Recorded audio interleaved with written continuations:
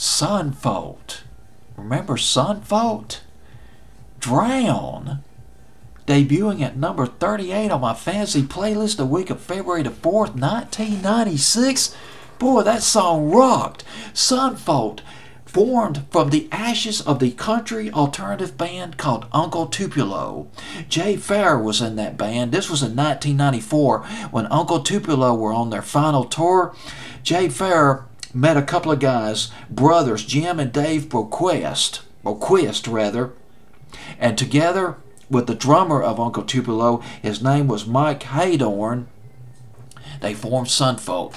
They started uh, recording and rehearsing in the Minneapolis area, and they came out with the album Trace. It was critically acclaimed, but it was not a commercial success for them. But it did yield yield that hit, that alternative hit for them.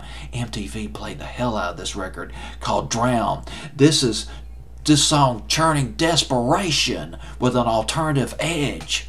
Very powerful record, just comes right out at you. This is Drowned by Son Volt.